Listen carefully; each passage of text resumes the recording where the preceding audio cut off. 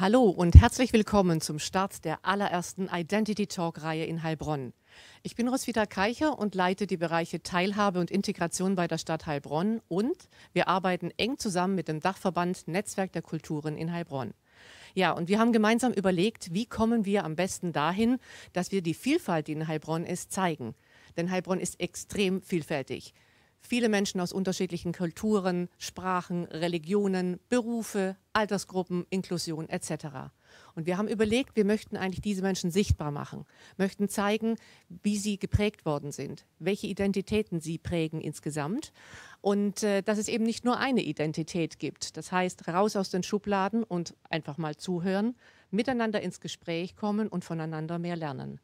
Das war das Ziel unserer Reihe oder wird das Ziel unserer Reihe sein. Und wir starten heute mit dem allerersten Identity Talk zum Thema Vorbilder, Influencer, aber auch Kultur und Musik im zweiten Teil. Denn diese Reihe ist zweiteilig aufgebaut. Ich freue mich ganz arg, mit euch auch in Kontakt zu kommen, denn es ist auch die Möglichkeit, über Chat hier dabei zu sein. Und begrüße ganz herzlich Herrn Salman Tiab, Moderator und Fernsehjournalist, der durch das heutige Identity Talk Format führt. Viel Spaß! Zuschauer und Zuschauerinnen zu Hause, auch Ihnen einen wunderschönen guten Abend. Gleich zu Anfang möchte ich, dass Sie zu Hause, aber gerne auch hier im Raum, sich eine Frage beantworten. Eine Frage, die essentiell ist, so einfach ist, aber wir selten uns Zeit für diese nehmen. Wer bin ich? Wer bin ich eigentlich? Vielleicht gehen Sie alle mal inne und denken über die Frage nach. Denn wer bist du oder wer bin ich? Ist eigentlich eine sehr einfache Frage, die uns aber manchmal ein Leben lang begleitet. Die Frage nach der ganz persönlichen Identität. Bin ich ein Mann, eine Frau, ein anderes Geschlecht? Bin ich hetero oder homosexuell oder sexuell anders orientiert? Bin ich Deutscher, Heilbronner oder Europäer? Christ, Jude, Muslim, Atheist? Fiebere ich für den FC Bayern oder den VfB Stuttgart? Welche Musik höre ich eigentlich gerne? Und was sagt all das über mich aus. Sie merken schon jetzt, welche Dimension das annehmen kann. Wir möchten natürlich versuchen, verschiedene Aspekte der Identität heute zu beleuchten, mit ganz sehr, sehr vielen spannenden Gästen darüber zu sprechen, wie Sie Ihre Reise dieser Identität gemacht haben. Möglicherweise sind Sie noch auf der Reise. Und das Thema lautet ja auch Identität im Wandel. Was uns prägt und welchen Einfluss Vorbilder haben. Mit ein paar Vorbildern werden wir gleich hier zu Anfang sprechen. Mich interessiert natürlich, was zeichnet Sie aus? Aber zuerst einmal möchten wir die Frage klären, was ist Identität eigentlich? Was ist Identität?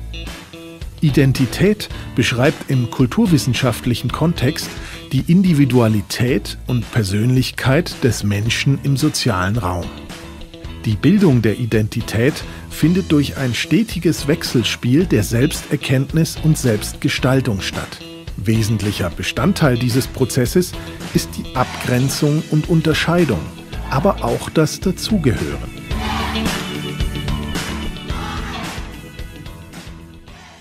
Die Person identifiziert sich mit einem Objekt, einer Person, einer Gruppe oder einer Kultur entscheidet sich, Besonderheiten anzunehmen und gleichzeitig eigene persönliche Merkmale auszubilden.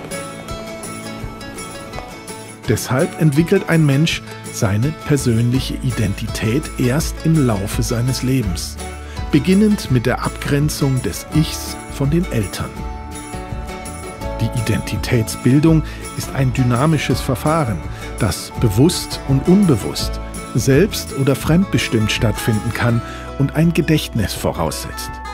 Denn ohne Erinnerung gibt es keine Selbsterkenntnis. Wichtig ist, dass nur ein Körper als Ganzes eine Identität erlangen kann, da die Abgrenzung und Zugehörigkeit Verfahren sind, die auf vollständigen Einheiten beruhen. Dabei können sich die Einheiten in kleineren Teilen ändern, ohne dabei ihre Identität zu verlieren. Käthe bleibt Käthe, auch wenn ihr ein Arm fehlt.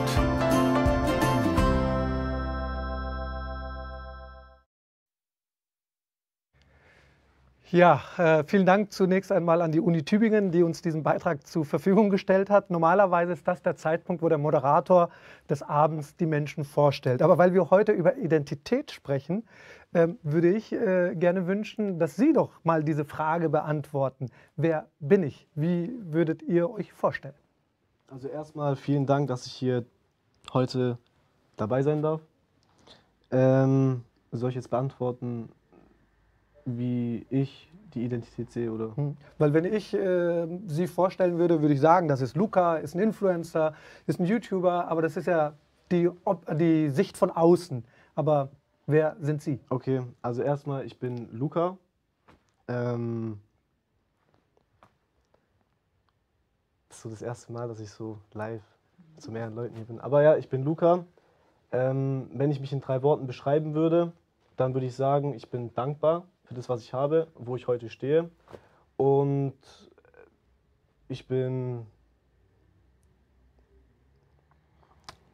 Gar nicht so einfach, oder? Diese Frage zu beantworten. So spontan ist es, ist es echt gar nicht so einfach, muss ich ehrlich sagen.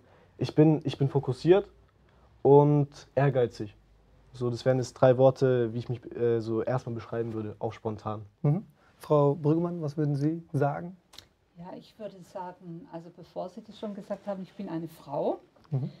Ähm, dann bin ich ein gläubiger Mensch, ich glaube an Gott, bin ein christlicher Mensch. Und was meine Identität seit Jahrzehnten prägt, ist einfach meine Zugehörigkeit zu einer Ordensgemeinschaft. Ich bin eine Ordensfrau. Und was mich, glaube ich, auch speziell ausmacht, das ist mein Interesse an Menschen und auch, ähm, ja, ich glaube, ich habe schon auch so eine soziale Komponente in mir. Mhm. Herr Dünder, was würden Sie sagen? Ähm, das Interessante ist, dass mein Buchtitel, das am 25. März erscheint, äh, auch den Titel hat, Eine Reise in dein Ich. Und auf dieser Reise bin ich heute immer noch. Ähm, irgendwann habe ich mich von vielen Sachen ausgegrenzt, wo ich gemerkt habe, das bin ich nur, weil ich mich damit identifiziert habe, so wie mit einer Fußballmannschaft, so wie mit einer Stadt, so wie mit einer Automarke. Und umso mehr man das alles hinterfragt und sich selbst auch hinterfragt, die Glaubenssätze, Verhaltensmuster, umso mehr äh, geht die Reise in eine sehr tiefe rein. Mhm. Da ich seit 13 Jahren auch im Coaching-Bereich bin und mittlerweile sehr viele äh, Therapeuten ausbilde, merke ich halt, dass äh, dieses Ich, das ist so eine Reise, die nie aufhört und auf mhm. der bin ich immer noch. Ich bin auf jeden Fall jemand, der die Welt verändert.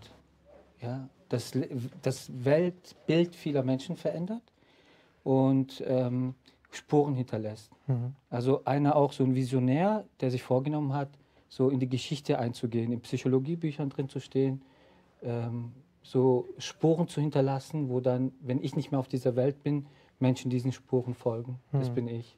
Und was zeichnet Sie aus, würden Sie sagen? Also diese Frage nach, wer bin ich, haben Sie beantwortet, visionär, zukunftsgedacht, mhm. was Sie natürlich hinterlassen möchten. Aber mhm. wo würden Sie sagen, stehen Sie heute auf der Reise? Ähm, ich habe so drei Grundsäulen, wo für mich so Respekt, Toleranz und Liebe. Mhm. Ja, und mit diesen drei Säulen, da geht man ganz anders durchs Leben. Mhm. Und das sind so immer in Gesprächen, in allem, auch im, im in dem Bild, das ich selbst im Spiegel sehe, habe ich halt immer wieder dieses, hey, ich bin Respekt, ich bin Toleranz, ich bin Liebe. Hm. Wir, wir haben ja eben auch in dem Einspieler gesehen, dass Ausgrenzung oder Anerkennung eine große Rolle dabei spielen, äh, wie wir uns letztendlich entwickeln oder wie wir uns äh, sehen. Frau Brüggemann, ähm, erinnern Sie sich an Situationen der Ausgrenzung, wo Sie sagen würden, diese haben Sie nachhaltig geprägt? Ja, diese Situationen, die gab es immer wieder. Also eben seit, äh, seitdem ich Ordensfrau bin auch. Und äh, für mich war das jedes Mal eine neue Auseinandersetzung damit, äh, stehe ich für das, wovon ich überzeugt bin, ähm, zeige ich das auch in der Öffentlichkeit oder eben auch anderen Menschen gegenüber.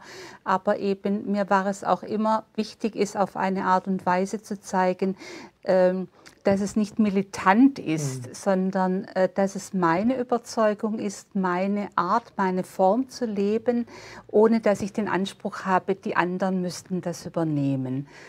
Äh, sie müssen es auch nicht verstehen, Was ich mir aber schon wünsche, weil ich das auch so lebe, äh, dass sie es respektieren. Hm. Also das ist für mich so ein Mindestmaß äh, anderem gegenüber, Kann- kann- anderen Ide- Identitäten gegenüber. Kann man sagen, also immer wenn man Ausgrenzung erfährt, schärft man auch seine eigene Position eigentlich nochmal und schaut, wo, wo steht man selber? Ja, das würde ich äh, so bezeichnen. Man setzt sich wieder neu mit der eigenen Ident- Identität auseinander, würde ich sagen. Ähm, Luca, als du gestartet bist mit deinem YouTube-Kanal, Genau. ähm, war das ja mm, relativ anonym. Ja. Ne? Also keiner wusste, dass dieser Kanal ähm, von dir, von ihnen stammt. Ähm, und ähm, ja, plötzlich warst du schon, schon berühmt, bekannt. Ähm, was hat das mit den Menschen um dich gemacht und äh, was ist da auch passiert, auch in, in Bezug auch auf, äh, auch auf Ausgrenzung? Weil man bekommt sehr, sehr viele Likes, man ist natürlich bekannt und Daumen hoch und so weiter, aber man bekommt natürlich auch sehr, sehr viele Kommentare, die vielleicht in eine andere Richtung gehen. Erstmal. Genau, also erstmal, ich wollte anonym bleiben. Ich habe damals ein Spiel gespielt, Fortnite heißt es. Das kennen sehr viele Jugendliche, eigentlich jeder. Und ja, ich wollte erstmal anonym bleiben, weil ich. Ich, ich weiß nicht. Ich hatte einfach Angst davor, sage ich mal. Oder es war, es ist, es ist was, was Ungewohntes, dass so viele Menschen, die dir zuschauen, äh, dich auf einmal kennen, wissen, wer du bist. Weil man erkennt ja einen Menschen, wenn man ihn sieht, auf der Straße, überall. Und ähm, ja, dann war das so, ich habe mir eigentlich eine recht gute Reichweite aufgebaut, anonym. Nur, also ich habe quasi gezockt und das Ganze kommentiert mit meiner Stimme. Ähm, ja, und Vielleicht, vielleicht nur eine Sache für die älteren Zuschauer zu Hause. Also wa- was Luca hier erzählt ist, wahrscheinlich kennen Sie das von Ihren Kindern, die spielen irgendwelche Computerspiele und mittlerweile äh, sind eben sogenannte Streamer, zeigen, wie sie spielen und kommentieren das. Und damit ist äh, Luca relativ bekannt geworden und das war so die erste, war, war die erste Zeit. Viele Leute, viele junge Leute schauen dann eben den anderen zu, wie sie spielen. ja, Ne? Und, aber wie, wie, wie bist du mit den Kommentaren umgegangen? Gab es auch ja, Hasskommentare, negative Kommentare, ausgrenzende Kommentare? Genau, also klar, das gibt es auch. Also überwiegend sind es bei mir positive Kommentare, zum Glück. Ähm, ja, wenn da mal das ein oder andere Kommentar da ist, was so, was jetzt nicht so toll ist, sage ich mal, ähm, ja, dann nimmt man sich am Anfang schon zu Herzen, sage ich mal, aber irgendwann wird man da dann abgehärtet und man überliest es einfach. Also ich, für, ich äh, für mich persönlich überlese es dann und Wa- Was waren das für Kommentare? Wie kann ich mir das vorstellen? Ähm, leider sehr selten konstruktive Kri- Kritik, äh, Kritik sage ich mal. Eher Beleidigungen, wie ich will es jetzt hier nicht sagen, aber unter der Gürtellinie auf jeden Fall. Und, aber meistens waren dann die Kommentare ohne Rechtschreibung. Hm. Also die Wörter waren komplett falsch, aber ja. Und ich meine, ich erinnere mich, ähm, Herr Dünder, als wir uns kennengelernt haben, war Herr Dünder hier. Wir waren in diesen Räumlichkeiten. Herr Dünder war relativ aufgeregt und hat gesagt, ich muss auf ein Video reagieren. Genau. Ja, wa- was, was war da Ja, und genau. äh, wie, wie, wie, wie erleben Sie auch Ausgrenzung, indem Sie halt auch wirklich medial dann auf Social Media präsent sind? Also es gibt ja im Netz diese Anonymität. Ja, das heißt, jemand, der macht sich einfach kein Profilbild oder ein Profilbild und kann anonym reagieren auf jemanden. Dann gibt es auch Menschen, die sehen dann zum Beispiel etwas und sehen, was haben andere geschrieben. Wir haben andere darauf reagiert und finden andere, die auch ähnlich wie sie reagieren und das löst eine Lawine aus. Vor allem bei sehr unzufriedenen Menschen. Die lassen da in dem Moment, äh, ist es wie der Dampfkessel, der, da ist so viel von außen. Dieser Dampfkessel kocht und dann, und dann kommt dieses Ventil hoch. Ja? Und dann lassen sie dann ja, ihren ganzen Frust in dem Moment an dir raus. Sehr unzufriedene, mit sich nicht zufriedene Menschen. So, und dann äh, kommen halt äh, so Menschen, die halt ungebildet, sage ich mal, sind, auch nicht weltoffen sind, wo ich zum, zum Beispiel was erlebt habe, das war unglaublich an dem Tag, ja, da habe ich ein Reaktionsvideo dann aufgenommen auf ein Video, das über mich gemacht worden ist. Ich bin selber Moslem, ich komme aus einer islamischen Familie. Und äh, für mich ist mein Glauben etwas sehr Wertvolles. Und das erdet mich immer sehr. Jetzt gibt es eben auch dort Menschen, die äh, ein anderes Bild von der Religion haben, leider, und nehmen zum Beispiel so ein Bild, wo äh, arabische Zahlen drauf sind. Und dann nehmen sie ein Video weil sie dann in Google Sihirring eingeben zum Beispiel, so ein schwarze Magiering. Mhm, und in Google kann man jedes Bild benennen, wie man will, dann wird es auch gefunden. Also jeden Namen kann man ja geben. So. Jetzt macht einer ein Video und meint, ich würde mit Hypnose, mit schwarzer Magie arbeiten.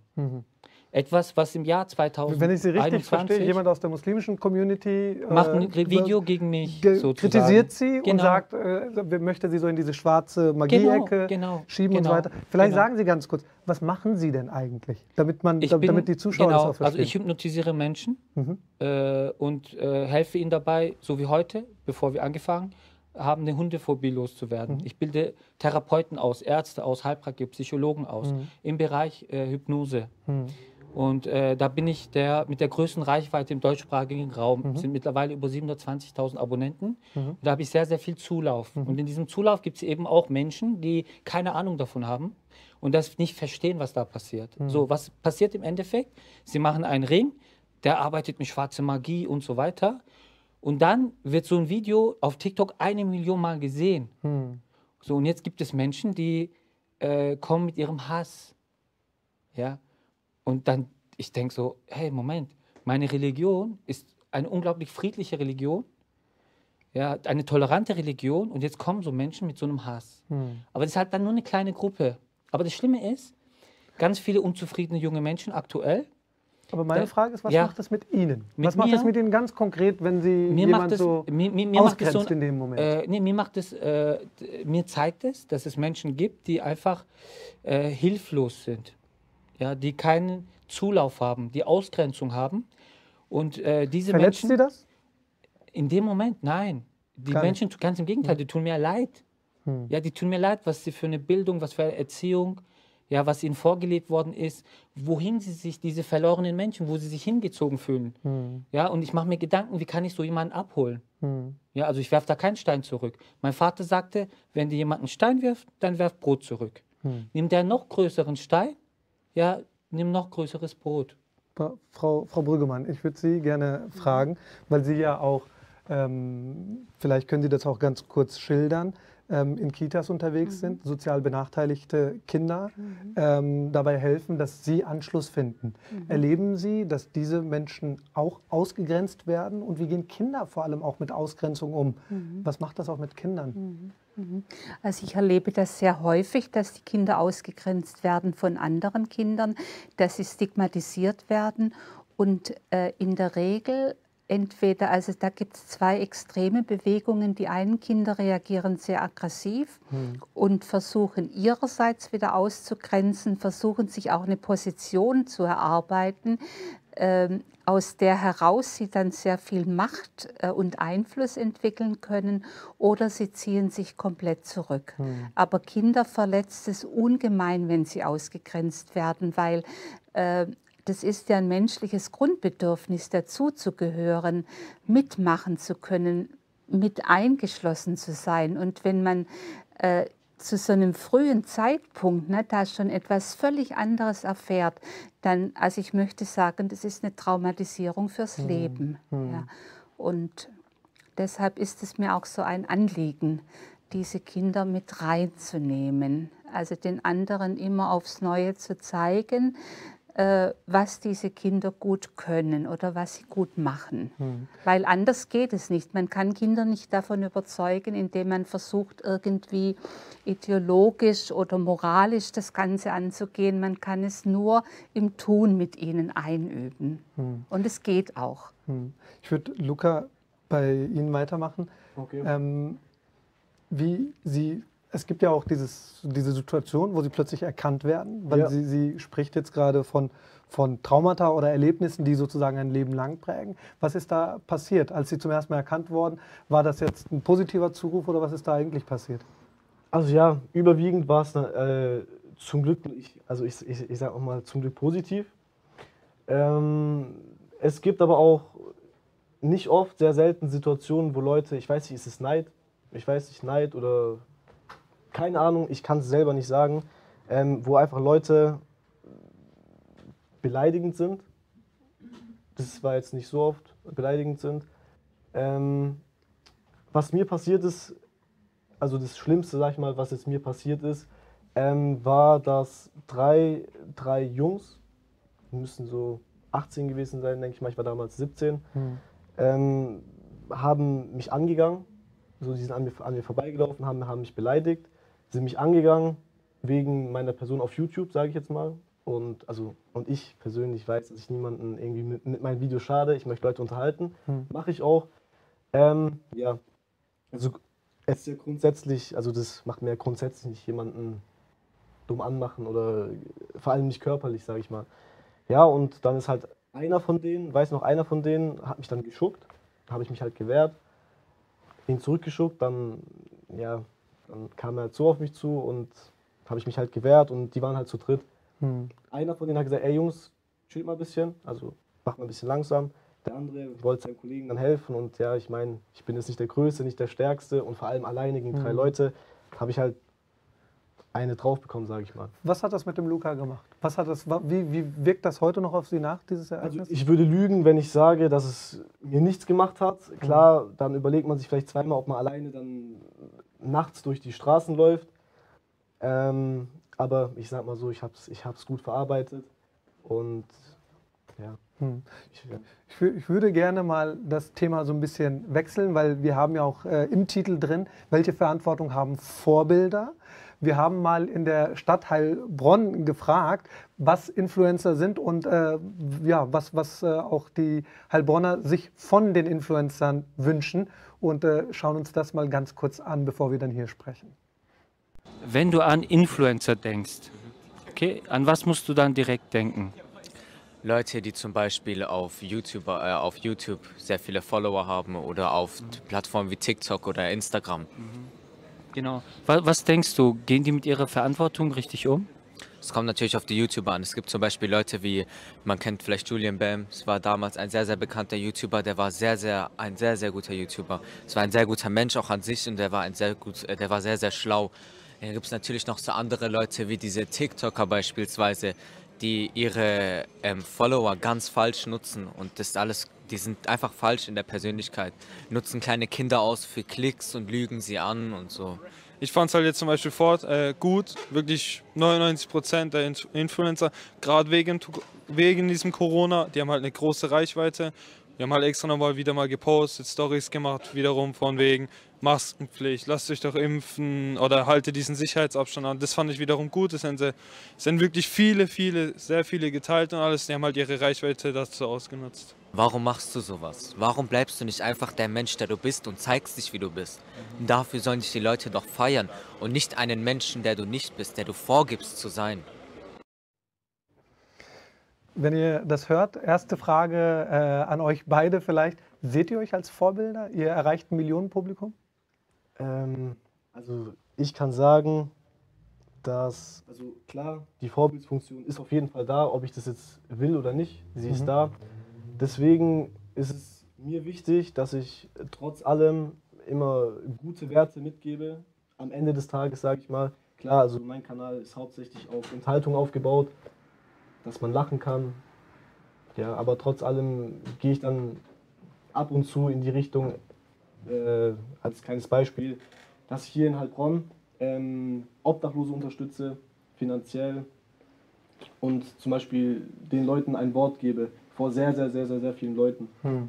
Und ja, mir ist es auch sehr wichtig, also für mich persönlich, meine, also die Familie, die engsten Leute um einen herum, dass man das schätzt, diese Menschen zu haben, wenn man welche hat. Und.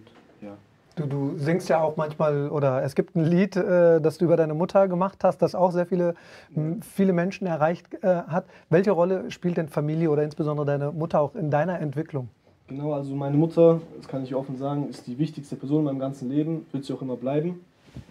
Und ja, ich bin einfach dankbar, dass meine Mutter immer für mich da war, mich bei allem, was ich gemacht habe, unterstützt habe. Ich war nicht immer ein sehr einfaches Kind, sage ich mal. Aber trotz allem, ja, meine Mutter ist mir die wichtigste Person auf der Welt und deswegen habe ich mit diesem Song, ich weiß nicht, egal ob meine, also von allen Videos, die ich je gedreht habe, ist dieses Video das Allerwichtigste und dass dieses Video so viele Leute gesehen haben, ich glaube, es sind 5,5 Millionen oder so, keine Mhm. Ahnung. Ähm, ja, das macht mich einfach unheimlich stolz, sage ich mal. Hm. Wir schauen uns auch gleich äh, das an, was du sonst machst, wollen darüber auch gleich sprechen, aber äh, Herr Dünder, wie ist es bei Ihnen? Fühlen Sie sich als Vorbild, wenn Sie 700.000 Follower haben? Sehr. Und vor allem ähm, bin ich jetzt mittlerweile in einer Reife, auch vom Alter her, wo ich sehr, sehr viel Gedanken darüber mache. Wenn ich ein Video produziere, weiß ich, dass ich mit einem Spaßvideo sehr viele Menschen erreiche, versuche aber hier auch eine Ernsthaftigkeit mit reinzubringen. Habe dann zum Beispiel ein kostenloses Programm für Kinder, Jugendliche, damit sie in der Schule besser werden können. Auch wo ich drin äh, Suggestionen, Affirmationen habe äh, für Selbstbewusstsein, habe einen Selbstbewusstseinskurs, den ich für Jugendliche immer wieder zur Verfügung stelle, ähm, weil es sehr wichtig ist. Die brauchen, äh, brauchen Vorbilder. In der Industrie arbeitet man damit, im Marketing arbeitet man damit, äh, diese Men jungen, jungen Menschen dazu verleiten, dass sie was kaufen. Äh, diese sollten aber nicht äh, den ganzen Tag vor der Playstation oder so sein. Und deswegen ist es wichtig, vorzuleben, gesunde Ernährung, äh, Sport, persönliche Weiterentwicklung, ne, Ziele zu haben. Und ich denke, dass ich da schon ein gutes Vorbild bin. Hm. Klingt alles sehr vernünftig. Wir lernen Sie und euch als Menschen kennen. Ich möchte trotzdem ein Video zeigen, das auf deinem oder auf Ihrem Kanal sehr bekannt ist okay. ähm, und darüber dann auch insbesondere mit Ihnen, Frau Brüggemann, gleich ins Gespräch gehen, ähm, was Sie glauben, was das bei Jugendlichen äh, bewirken kann äh, und möchte Ihnen hier äh, zeigen, was zum Beispiel Luca auf seinem YouTube-Kanal tut. Noch eine Weile. Ich dachte mir, dann sprühe ich einfach mal ein bisschen den Auto voll.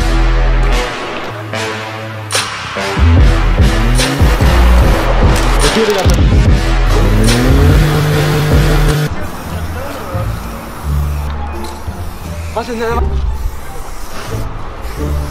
Digga, lass fahren, lass fahren, lass fahren. Was machst du, Digga?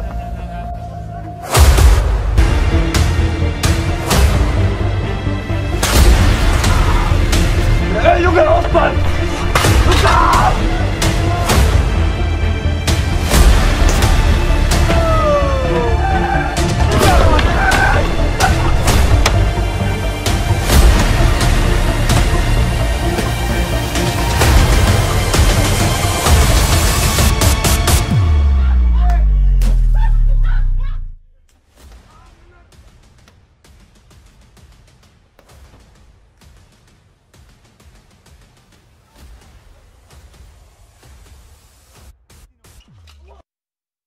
Wir sehen diese Bilder. Erste Frage, was äh, Ihr YouTube-Kanal, von wem ist er abonniert? Wie alt sind die Leute? Ähm, also laut den YouTube Analytics sind die Leute im Schnitt, sage ich mal, zwischen 14 und 23. Nächste Frage, was glauben Sie, macht äh, so ein Video mit den Jugendlichen, wenn sie das sehen? Genau, also man hat ja nicht alles gesehen. Ich habe ja am Anfang erklärt, dass ich das Auto von meinem Cousin, was mhm. am kaputtgehen ist, vor ihm zerstöre und ihn damit sozusagen pranke, aber er nicht weiß, dass er von mir danach ein besseres Auto geschenkt bekommt. Hm.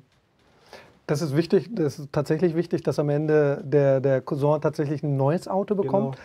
Aber wenn Sie so Bilder projizieren, auch für 14- bis 23-Jährige, äh, in anderen Videos zum Beispiel heißt das, oh nein, ich habe meine Freundin äh, mein Auto von 600 PS überlassen, geht das gut? Das sind ja tatsächlich ein paar, paar Bilder, mit denen Sie spielen, äh, die sich, glauben Sie, dass solche Ideale könnten sich dann festigen bei den Jugendlichen? Oder? Also klar, man sieht, dass, dass wir halt mit Gewalt gegen das Auto einschlagen, aber ich denke jetzt mal, dass, also das soll ja nicht die, die, die Intention vom Video sein, dass wir jetzt gewalttätig ein Auto zerstören, sondern die Intention soll ja sein, dass ich meiner, also einer Person in meiner Familie, die mir sehr geholfen hat damals, eine Freude damit mache. Hm das sollte die Intention von dem Video sein und so kam es auch bei den Leuten an. Also mhm. man hat jetzt hier nicht ja. alles gesehen. Mhm. Dazu muss ich auch noch was sagen. Bitte? Weil ich war ja sogar in diesem Video dabei. Äh, und äh, also es ist ja ein Auto, das hat vielleicht noch 300 Euro oder so einen Wert gehabt. Mhm. Das Auto würde nicht mit ja, dem TÜV kommen. Genau, also das war wirklich eins, also das konnte, war eigentlich zum Verschenken. Mhm. Ja, und dem sein Cousin hat damals für ihn sehr viel gemacht. Und ähm, dann hat er ihm das neue Mercedes gekauft. Genau. Und, ähm, und er hat auch schon Autos verschenkt. Ja. An alleinerziehende Mütter. Also ne, mhm. wichtig ist. Also es könnte genauso jetzt so ein Video sein, das mhm. ihr zeigen könntet.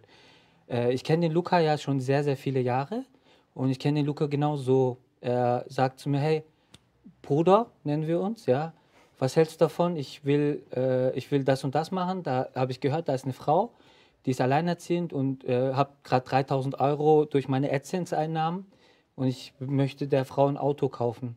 Hm. So, und dann geht er hin und drückt er den Schlüssel in die Hand. Hm. Ja, und das ist halt auch der Luca. Hm. Und die, wo ihn abonnieren, sehen das Video, ja, aber auch das Video. Ja, und wenn man dieses Video nicht sehen würde, dann würde man das andere Video nicht sehen und auch das Video nicht sehen, wo er zu Obdachlosen hingeht, ihnen Essen gibt, mit ihnen redet. Ja, also äh, man muss, deswegen, man kann mit Unterhaltungsvideos die Menschen abholen und mit anderen Videos ihnen, ihnen den richtigen Impuls geben, etwas im Leben zu verändern. Ich würde Frau Brüggemann, Sie haben beiden zugehört ähm, und die Argumente gehört. Wie, wie empfinden Sie das? Also, Also wie ich das Video gesehen habe, habe ich mich gefragt, warum machen Sie sowas? Also warum wird sowas aufgenommen? Warum wird sowas ins Netz gestellt? Äh, ich bin erschrocken und ähm, ja, also auch äh, jetzt die Hintergrundgeschichte. Ich habe überlegt, warum muss man das eine Auto zerstören, um ein anderes äh, dann zu schenken? Das kann ich nicht verstehen. Ne? vielleicht, vielleicht möchten Sie reagieren? Also ich dachte mir einfach, dass ich das Auto zerstöre, bevor es auf den Schrottplatz kommt. Dann habe ich vielleicht noch ein bisschen Videomaterial äh, und kann meinem Cousin erstmal einen Schrecken einjagen, bevor er sich dann richtig freut. Ah, ja, okay. Aber, aber ich habe wirklich hier mal eine Frage. Ich selbst bin ja auch Journalist. Ich weiß, was Bilder bewirken können. Ich Ja. weiß auch, was, was man machen kann, wenn man ein Millionenpublikum erreicht und dass das eine gewisse Wirkung hat. Hm, Was mich interessieren würde, denken Sie denn manchmal tatsächlich darüber nach, welche Wirkung das bei dem Jugendlichen hat? Also wenn ich, wenn ich mir jetzt so meinen Sohn vorstelle, der ist elf, ähm, der könnte sich so ein Video auch anschauen. Und ich frage mich, ob er darunter wirklich Unterhaltung versteht oder ob er vielleicht äh, mit seinen Kumpels sagt, ey, geiles Video von Luca gesehen, lass mal machen. Ne? Also was glauben Sie, bewirkt das bei, bei Teenager? Denk, also oder denken Sie darüber nach? Klar denke ich darüber nach. Ich meine, wie gesagt, ob ich will oder nicht, ich habe eine gewisse Vorbildfunktion. Äh, anders wäre es jetzt, wenn ich das Auto einfach so zerstören würde und dann gar nichts mehr kommen würde. Dann würde ich ja was ganz anderes vermitteln oder halt schlechte Werte vermitteln. Aber ich, ich für mich weiß, laut meiner Community, ich bekomme ja auch Feedback, denen hat das Video gefallen. Die haben sich für, äh, für meinen Cousin gefreut, sage ich mal. Und ja, Interessant, ich habe mir die Kommentare tatsächlich nicht angeschaut. Was steht dann darunter? Steht dann dann eher Ehrenmann, hast du, hast du gut gemacht oder, oder kritisieren die Leute das? Teils, teils. Hm? Teils, teils. Also überwiegend äh, fanden es die Leute cool. Vereinzelt gab es dann Leute, die gesagt haben, ja, man hätte das Auto nicht, nicht zerstören müssen, oder so, Mhm. aber das Auto würde nicht mehr durch den TÜV kommen. Er hatte nur Probleme mit dem Auto. Wie gehst du denn mit der Kritik um? Ähm, auch jetzt von Frau Brüggemann, die ja, äh, Ja. sichtlich erschrocken war, dass das eine negative Wirkung bei den Teenagern haben könnte? Weil es geht ja um Identität. Das heißt, im Grunde genommen, was wir schauen, was wir hören, das hat ja eine gewisse Wirkung auch auf uns. Ja. Darüber sprechen wir heute ja auch. Ähm, kann das auch zu einer Identität führen, die vielleicht zu Gewalt oder zu, zu Zerstörung aufruft? Oder glaubst du daran gar nicht? Also ich kann es nur für mich sprechen. Ich, ich weiß nicht, wie andere Menschen denken. Ich weiß nicht, wie andere Menschen aufgebaut sind. Aber ich denke mal, bevor man sich ein Video anschaut, dann sollte man erstmal schauen, dass man kein Fortnite spielt. Da hat man ja auch eine Waffe in der Hand und schießt auf andere. Ich persönlich finde, dass meine Videos jetzt nicht Leute dazu animiert, dass sie Gewalt anwenden. Ich für mich persönlich. Ähm, ja, aber ich nehme die Kritik auf jeden Fall an und nehme mir das zu Herzen. Vielleicht kann ich ja schauen in Zukunft, dass ich das Auto nicht mehr so stark schlage. Okay, immerhin. Also das ist, ja, Frau Ja, Brüggemann, darf bitte. ich was dazu sagen? Ja, Natürlich. Ja, nee, ich habe jetzt gerade beim Zuhören dachte ich, vielleicht ist das auch ein Generationenproblem. Ne? Vielleicht empfinden das jüngere Menschen, Ja, also ja. ich bin ja schon über 60, ja, vielleicht empfinden das andere äh, jüngere Menschen ganz anders als wir äh, Älteren. Wir haben eine andere Sozialisation, wir haben noch einen anderen Umgang auch mit Dingen gelernt, eben auch. Also Wir sind ja nicht in dieser Wegwerfgesellschaft groß geworden, sondern eher noch anders. Ja, habe ich gerade überlegt. Aber ich habe auch überlegt, ach so, muss ich da reinsprechen übrigens? Ja, wäre wär vielleicht gut. Ja, Ja, Entschuldigung. Ähm, ich habe auch überlegt, also wenn ich jetzt so ein paar Kinder äh, aus den Kitas, in denen ich arbeite, mir anschaue, ne, Ja. das würde die äh, wahrscheinlich auch noch in ein paar Jahren sehr dazu animieren, auf irgendein Auto einzuschlagen. Ne? Also Kinder, die eben dieses hohe Aggressionspotenzial haben, nicht umsonst, also das ist in ihnen entstanden und die vielleicht, äh, Sie haben ja vorher auch gesagt, äh, die Follower, die eher, oder das sind dann glaube ich keine Follower, die eher, neg aber die ne eher negativen Kommentare sind mit vielen Rechtschreibfehlern und so. Also Kinder, die eben kognitiv auch eher eine Beeinträchtigung haben. Ich glaube, dass die eben so eine differenzierte Sichtweise nicht ähm, Okay. entwickeln können, würde ich mal sagen. Ne? Okay. Schnell noch eine kurze Antwort, dann würde ich kurz, weitermachen. Ja. Äh, ich muss auch noch sagen, oder kann auch sagen, dass es mittlerweile so ist, dass YouTube ähm, diese Videos, also man kann nicht einfach irgendwelche Videos hochladen. YouTube überprüft es, ob das für die Leute, ähm, die das Video anschauen, angemessen ist, sage ich mal. Man gibt immer ein, ähm, also man kann, während man das Video hochlädt, kann man eingeben, okay, ist es, ist das Video speziell für Kinder, ist das Video für Jugendliche oder ist, oder ist das Video erst ab 18? Und ich gebe immer ein, nein, ist nicht für Kinder und ja. Dann, okay, fühlst du dich aber in dem Moment oder fühlen Sie sich in dem Moment Ihrer Verantwortung gerecht geworden, dass es ein gewisses Alter sehen sollte? Das meinen Sie Ja, damit weil wahrscheinlich? wenn, weil wenn etwas komplett ähm, daneben wäre, sage ich mal, dann würde das gar nicht auf YouTube existieren dürfen, sage ich mal. Okay. Eine, eine Sache, äh, wir haben auch ein Video von Ihnen, Herr Dünder, das äh, können wir Ihnen nicht ersparen und wollen Ihnen, äh, liebe Zuschauer und Zuschauerinnen Okay. zu Hause, auch kurz Jetzt zeigen und kommt's. natürlich auch im Saal. Ihr heiratet bald? Ja. Ah, okay, cool, cool, sehr schön. Schlaf tief. Es ist für dich alles in Ordnung. Du wirst jetzt deinen Verlobten erkennen. Wenn du eine Schwester hast, dann nick mal mit dem Kopf. Okay, so. Das Besondere ist, du denkst jetzt, dein Verlobter hat dich mit deiner Schwester betrogen und du regst dich voll auf. Du schreist ihn an, du explodierst. Das kann nicht sein, du hast es jetzt rausbekommen und du kotzt sowas von ab. Du bist die, die sich jetzt voll ärgert, weil du denkst, er hat dich mit deiner Schwester betrogen. Eins, zwei, drei. Was ist los? Was ist los? Was ist los? Hä? Alles gut, schlaf. Schlaf tief, tief, tief weg. So, auch Ah. das gibt es. Also wir müssen Genau, sagen, genau, wir sitzen absolut. hier. Nein, wissen, was, was grad, äh, wissen Sie, was gerade schade finde? Dass das Ende nicht drin ist. Das heißt, jetzt schneiden Sie etwas voll aus dem Kontext raus. Genau. Und das ist das Schlimme gerade zum Beispiel. Also auch was hier gerade passiert. Man schaut sich was an, schneidet das Video, ah, das ist gerade extrem, das schneide ich raus. Und was am Ende von diesem Video passiert, das ist gar nicht drin. Sagen Sie es. Genau. So. Am Ende des Videos erzähle ich, schaut her, ich habe sie gerade in einen blitzartigen Trancezustand gebracht und habe ihr eine Illusion erschafft. Eine Illusion, die in ihr nicht existiert. So. Schaut mal, wie schnell das passieren kann, dass Menschen beeinflusst werden. Achtet darauf, wer sagt euch was. Ja, ihr, ihr, ihr hört irgendetwas und gibt dem Ganzen eine Bedeutung und plötzlich kann eure Beziehung kriseln. Plötzlich kann euer Selbstbild kriseln. Deswegen filtert immer gut raus und schützt euch, schützt eure Beziehung, schützt eure Partnerschaft. Das ist am Ende von diesem Video genau die Message. Was mache ich? Ich polarisiere mit meinen Videos. Ja? Ich polarisiere und habe am Ende meiner Videos immer eine Message. Und diese Message sehe ich hier leider nicht. Und genau jetzt passiert etwas, so wie in diesem Video mit meinem Ring, das auf TikTok hochgeladen wurde. Es wird voll vom Kontext rausgerissen. Genauso wie bei ihm gerade, ja, wo man einfach, ah, der schlägt aufs Auto. Ganz schlimmer Junge. Äh, passiert oft in den Medien auch. Deswegen sitzen Sie ja hier. Das, Genau, war, genau, Das, genau. war ja, das war ja auch insbesondere Genau. der Grund.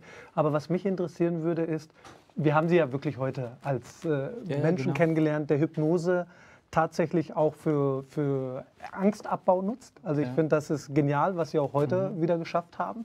Ich kenne auch Ihre anderen Videos, wo Menschen wirklich mit Ängsten zu Ihnen kommen Mhm. und wo diesen Menschen Ängste genommen werden. Warum also das würde mich schon interessieren. Mhm. Warum machen Sie dann auch solche Videos eine Art Showhypnose. Mhm. Genau. Und ähm, ja, weil ich habe auch Kritiken durchgelesen, wo Menschen dann ihnen auch vorwerfen, ja, das ist doch nur Show. Wa warum macht er das? Wa Mhm. Warum tun Sie das? Vielleicht beantworten Sie Okay. das einmal. Würde man die Hypnose ja, nicht polarisiert so präsentieren, Hm. dass es funktioniert, dann würden sich auch nicht Menschen die Frage stellen, hey, warte mal, das kann doch nicht sein. Hm. So, jetzt fangen sie an, das zu hinterfragen und sagen, das, was der macht, das kann nicht sein. Mhm. Und jetzt will ich es aber herausfinden. Und kauft sich ein Buch. Ja, und fängt an, sich mit dem Thema auseinanderzusetzen. Dann habe ich mein Ziel erreicht. Er soll, er kann urteilen, kann er. Er kann urteilen, das ist seine Sache. Er kann es hinterfragen und genau das ist mein Ziel. Durch das Polarisieren Menschen dazu zu bringen, dass sie, hey, warte mal, meine Freundin, die redet mir immer schlecht auf die Beziehung ein. Ja, und ich gebe dem ganzen Ohr. Hey, warte mal, das, was der macht, das kann doch eigentlich gar nicht funktionieren. Aber ich kaufe mir jetzt mal ein Buch und ich lese mal was darüber. Das ist mein Ziel. Ja, und ich, ich finde, das, das, das, Ich das finde auch, eine. Sie, machen das, Sie haben das auch sehr, sehr authentisch eben dargebracht, aber ich, es war mir einfach wichtig, Mhm. auch von der Wirkungsseite her zu kommen, zu sagen und auch zu verstehen, warum Ja, macht das natürlich. jemand wie Sie? Klar. Mhm. Weil wir haben uns kennengelernt, das ist wirklich, also wenn man sich anschaut, wie Sie die Ängste dieser Menschen nehmen, dann Mhm. ist das wirklich erstaunlich für mich. Ähm, ich habe auch andere Hypnosen gesehen. Äh, war am Anfang sehr unsicher, ob das funktionieren kann. Und die Menschen erzählen aber tatsächlich teilweise Positives. Nichtsdestotrotz, Frau Brüggemann, möchte ich Sie fragen, wenn Sie jetzt das Video schauen ähm, und das im Vergleich setzen, verstehen Sie auch die Argumentation von Herrn Dünder? Der sagt, man muss bei so einem Thema, was ja nicht greifbar ist, polarisieren.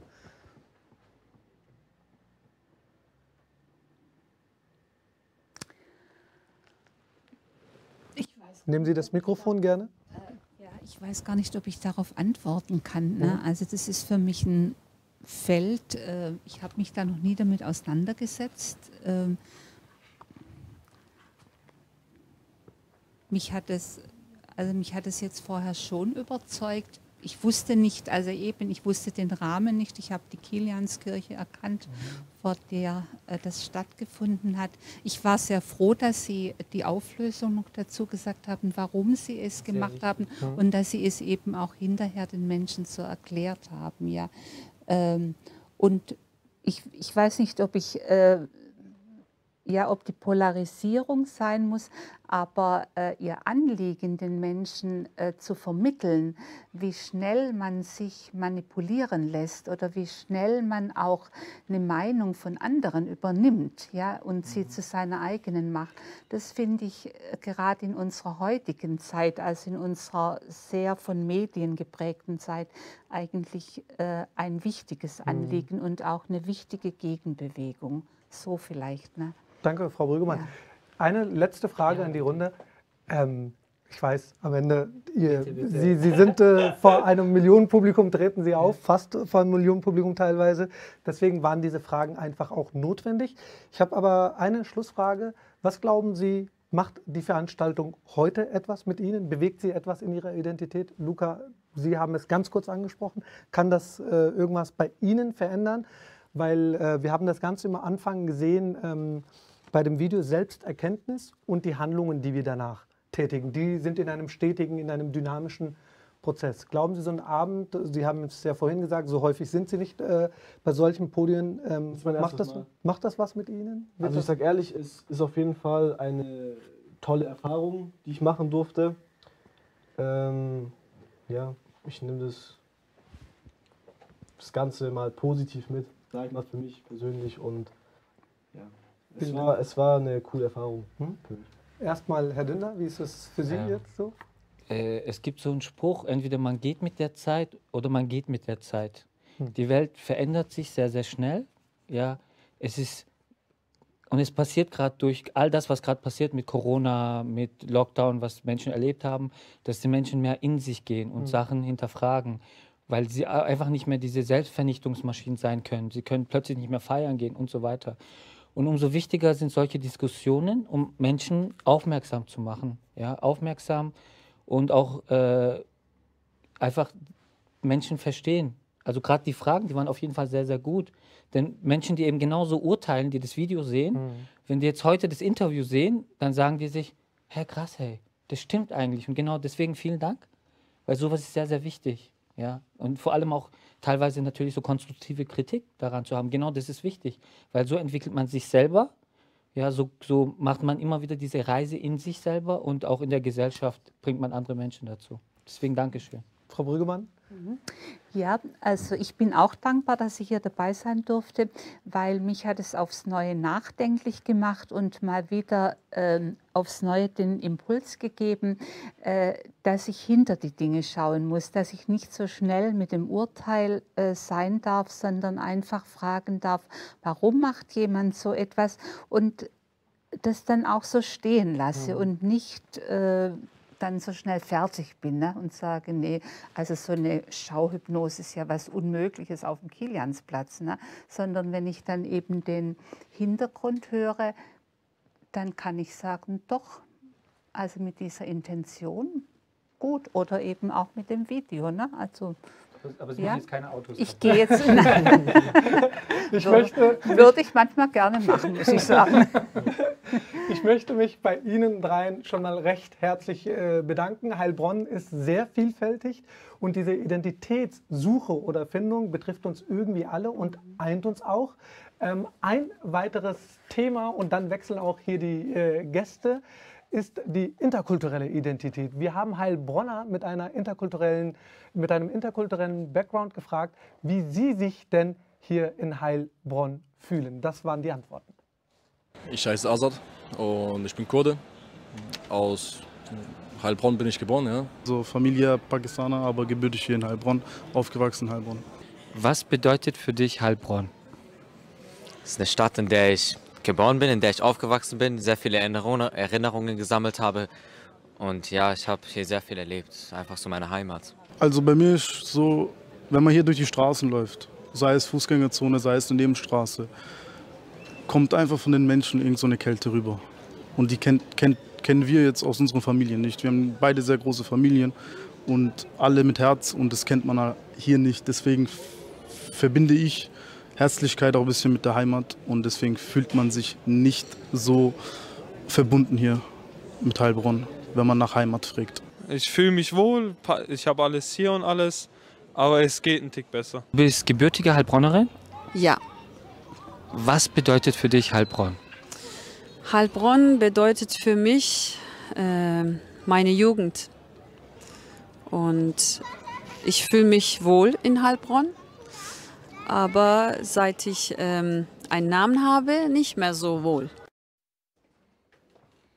So, wir äh, haben Stimmen gehört in Heilbronn ähm, von Menschen, die einen interkulturellen Background haben. Sie alle haben auch einen Background oder eben einen offensichtlichen äh, unterschiedlich. Erst einmal würde ich Sie fragen, hier waren ja die Stimmen sehr unterschiedlich. Es gab äh, Leute, die fühlen sich wohl in Heilbronn, andere, die sagen, nee, ich fühle mich eigentlich nicht wohl in Heilbronn. Vielleicht, bevor ich Sie vorstelle, wie fühlen Sie sich alle in Heilbronn? Sie sind ja alle Heilbronner und Heilbronnerinnen. Mm, Ich, ich müsste das, glaube ich, unterteilen. Okay. Also ähm, als sozialisierte Person, die ihre Familie hat, ihre Freunde hat, fühle ich mich sehr wohl. Ich habe äh, gemerkt, durch mein viel nicht in Heilbronn sein, wegziehen und so weiter, dass ich in Heilbronn kein Heimweh habe, Mhm. ähm, aber dafür viel Fernweh. Und dass mir Menschen nicht so schnell fehlen. Ich weniger telefoniere auch deswegen. Ähm, aber auf der anderen Seite trotzdem fehlt mir, fehlen mir bestimmte Aspekte, die meine, ja, die meine Leidenschaft äh, nähren und auch so mit meiner Seele oder meine Lebensfreude, Mhm. wie viel kulturelle Veranstaltungen beispielsweise und Kunst. Also sehr unterschiedlich. Wie ist es bei Ihnen? Also bei mir persönlich, da ich auch in Heilbronn aufgewachsen bin, zur Schule gegangen bin und äh, äh, im Grunde meine Jugend hier verbracht habe, kann ich schon sagen, dass ich mich mit Heilbronn identifiziere. Ne? Äh, wobei ich sagen muss auch, äh, nichts ist perfekt in keiner Stadt. Und Heilbronn hat sich auch entwickelt mit der Zeit. Ich denke auch, Heilbronn wurde in der Vergangenheit unterschätzt mit den Möglichkeiten, äh, äh, die man hier hat. Aber grundsätzlich äh, fühle ich mich wohl. Mhm. Äh, Ich würde mich we weniger wohlfühlen in einer riesengroßen Stadt wie Stuttgart, wo ich studiert habe. Ne? Also da war ich anonym. Äh, ich würde mich auch nicht wohlfühlen in einem Dorf, wo, wo ich jetzt, wo mich, äh, ich sag mal, jeder kennen würde und wo man sich, ich sag mal, begrüßen müsste auf je, in, jeder, äh, in jeder Straße. Aber so äh, ist so ein Mittelmaß, wo ich mich wohlfühle. Mhm. Ja. Wie ist das bei Ihnen? Sie sind noch nicht so lange in Heilbronn? Nee, gar nicht. Ich bin erst seit 2016 in Heilbronn und für mich ist Heilbronn immer noch Neuland, aber ähm, ich weiß nicht, ob man das sagen darf, aber das um Heilbronn ho- rum interessiert mich mehr als Heilbronn selbst. Also die ganzen Weinberge, die Natur, das ist Mhm. wirklich was ganz Wertvolles, wenn man von, vor allem in großen Städten gelebt hat. Hm. Ich habe äh, bei meiner Recherche richtig Schwierigkeiten gehabt, äh, zu formulieren, wer sie eigentlich sind, weil sie so facettenreich sind, alle drei, die hier sitzen. Äh, ich mache es mal kurz, aber würde Sie im Anschluss bitten, vielleicht doch ein bisschen mehr zu sagen, wer Sie sind. Ähm, Sandra Besara, heute als Kulturwissenschaftlerin und Musikerin hier. Schön, dass Sie äh, heute Zeit gefunden haben und hier sind. Ähm, Seki Öztaş, äh, Dachverband Netzwerk der Kulturen Heilbronn und Integrationsbeitrag hier, äh, Beirat äh, hier in der Stadt Heilbronn. Und Dalia Nadi. Aktuell ist sie Unternehmensberaterin und Referentin bei der IHK Heilbronn-Franken. Sie beschreibt sich selbst, als wir telefoniert haben, als Weltbürgerin. In Russland geboren, in der Welt unterwegs. Doch wo ist sie zu Hause, würde ich Sie gerne gleich fragen. Das und vieles mehr äh, wird sehr, sehr spannend mit Ihnen. Aber vielleicht zuerst die Frage, wer sind Sie? Ich würde gerne bei Ihnen anfragen, Frau Nadi. Wenn Sie sich diese Frage beantworten müssen, vielleicht müssen Sie auch den Zuschauern oder dem Publikum hier sagen, was, wo, wo Sie schon überall in der Welt waren.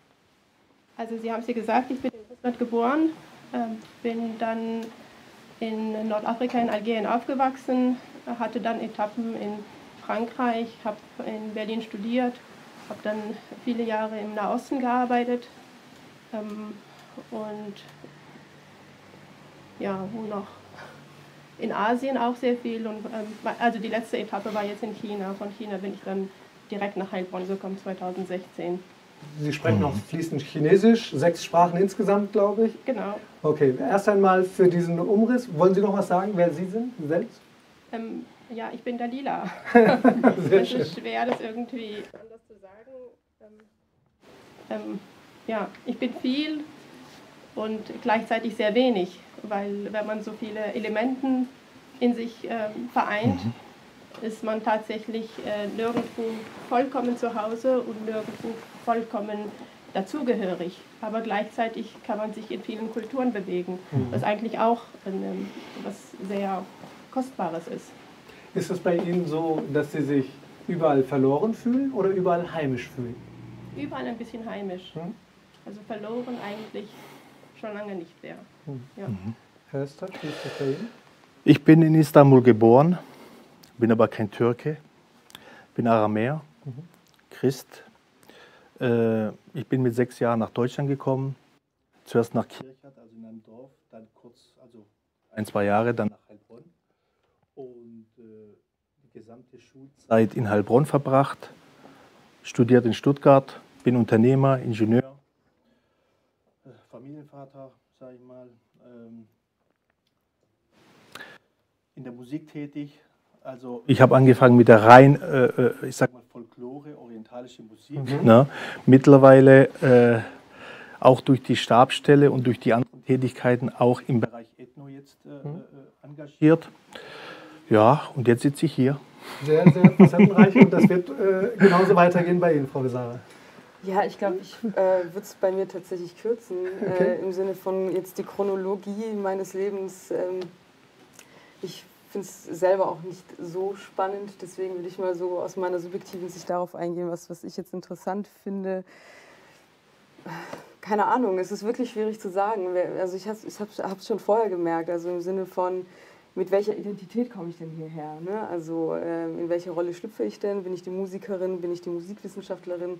Bin ich die politisch interessierte Aktivi äh, Aktivistin? Äh, schwierig zu sagen. Und ähm, ich würde, was die Identitätsfrage jetzt betrifft, sagen, ich bin Sandra, die ähm, für Gleichberechtigung kämpft und das durch verschiedene Kanäle gerne transportiert.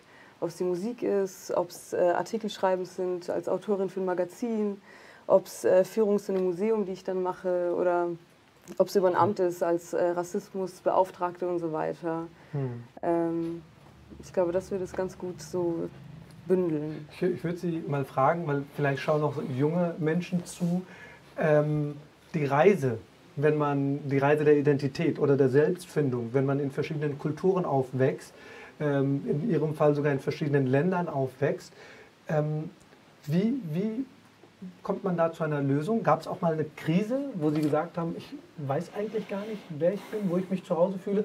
Bei mir war es so, ich habe mich lange gefragt, bin ich jetzt Muslim, bin ich Pakistani, bin ich Deutscher, bin ich Darmstädter, wer bin ich eigentlich?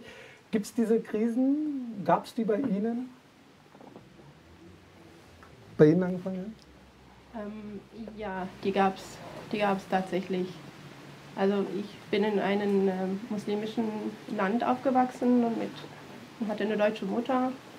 Und da, das hat mich natürlich sehr geprägt, Mhm. dadurch, dass man ähm, äh, dann trotzdem die Außenseiterin war, weil man ähm, einfach nicht äh, dem Schema gepasst hat, äh, wie Familien dort äh, zusammenleben, zusammenkommen. Und ähm, als ich dann äh, im späteren Alter nach Deutschland gekommen bin, war ich dann aber, also dieses Anderssein durch die deutsche Mutter war dann wieder das Anderssein durch den nicht-deutschen Vater hier. Dann war das auch dieses äh, nicht wirklich dazugehören, weil man ja nicht hundertprozentig. Also das schon, aber das hat sich dann mit der Zeit gelegt und das hat sich bei mir vor allem gelegt, indem ich angefangen habe, in anderen Ländern zu leben. Hm. Dass es irgendwie mit der, je mehr man in anderen Kulturen unterwegs, Dankeschön, je mehr man in anderen Kulturen unterwegs ist, umso weniger spielt es eigentlich eine Rolle. Hm. Und es ist immer sehr faszinierend, wenn man dann mit Leuten zusammen in Kontakt tritt, die selber auch sehr viel gesehen und erlebt haben, dass man dann auch im Dialog, dass es gar keine Rolle spielt, Hm. dass man dann tatsächlich auf einer ganz anderen Ebene anfängt, miteinander zu kommunizieren. Hm. Ja. Herr Östlasch, war es bei Ihnen so? Hatten Sie Schwierigkeiten mal, ähm, sich selbst zu finden oder zu sagen, wer bin ich? Oder war das für Sie ganz klar immer? Es war für mich ganz klar, dass die Welt nicht komplett ist. Dass man selbst auch nicht komplett ist. Und Mhm. deshalb, wenn man das weiß, dass das, es gibt ja nichts, was komplett richtig ist, was nicht komplett falsch ist. Ne? Mhm. Da kann ich auch nicht sagen, äh, es wäre gut, wenn es so oder so wäre. Es ist so, wie es ist. Mhm. Ne? Und man, man soll auch das damit machen, was man halt in die Hände bekommt. Also ich sehe es als Bereicherung an. Ich bin jetzt Orientale, sage ich mal. Das ist der eine Stuhl. Dann ist der andere Stuhl, äh, ich sage mal das Deutsche Mhm. eher. Ne? So, und ich wende das an, wo es halt notwendig ist. Wenn ich jetzt arbeite, ja, ich sag's mal so platt, dann arbeite ich nicht wie ein Orientale. Also das ist ja, äh, also äh, wenn man jetzt alle Vorteile da rausholen möchte. Also da versuche ich diese gewisse Ordnung, ja, die man auch als Vorteil gegenüber einem Deutschen hat, sage ich immer. Also man, man, äh, dass man auch diese gewisse Ordnung, die ich für mich haben möchte, habe. Und das andere, sage ich mal, ist äh, vielleicht so eine emotionale Geschichte, die man eher hat. Ja, wo kommt man her? Wie definiert man sich? Äh, äh, Religion, Spiritualität, ja, eine Herzensgeschichte. Und da holt man sich eher vielleicht die Herzensgeschichte raus. So, was uns alle eint hier, ist ja Heilbronn. Ne? Und äh, äh, äh, da ist es eigentlich dann unerheblich, ob man jetzt Christ, Moslem, Aramäer, Türke, äh, Deutsche und so was. Man, äh, man soll sich auch da so einbringen, äh, auch die Fähigkeiten und die, den Background, den man hat, dass man sich da einbringen kann.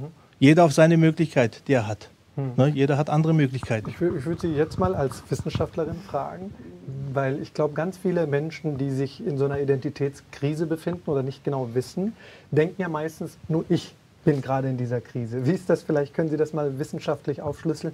Ist so etwas normal, dass solche Krisen kommen? Ähm,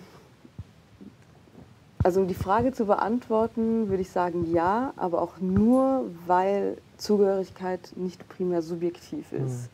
Also wenn jemand sich zu etwas zugehörig fühlt, das äh, hast du jetzt auch gerade schön beschrieben, wie du damit umgehst, zwischen den Stühlen zu stehen, und das haben Sie auch beschrieben, Ähm, es ist aber trotzdem aus einer subjektiven Haltung und das Mhm. muss man, finde ich, auch so betrachten, dass ähm, man mit der eigenen ähm, Sicht, mit der eigenen Wahrnehmung und dem Wunsch, etwas anzugehen oder dieser Illusion, sich zu integrieren, dazuzugehören, nur eine Seite ist. Hm. Deswegen ist diese, dieser Konflikt eigentlich schon gegeben, wenn die Gegenseite, die ja eine gewisse Machtposition übernimmt und hat, die entscheidet, gehörst du oder gehören sie dazu oder nicht. Hm.